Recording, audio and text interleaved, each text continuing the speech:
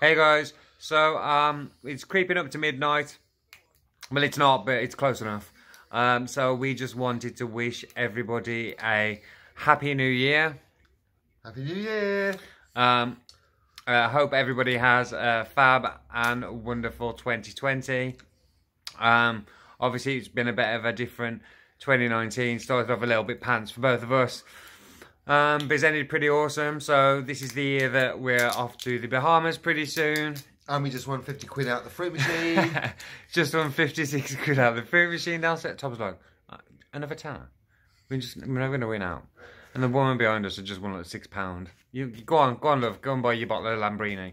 Um, so we've treated ourselves to a bottle of Jack to drink in the room. Uh, downstairs is all of about seven people.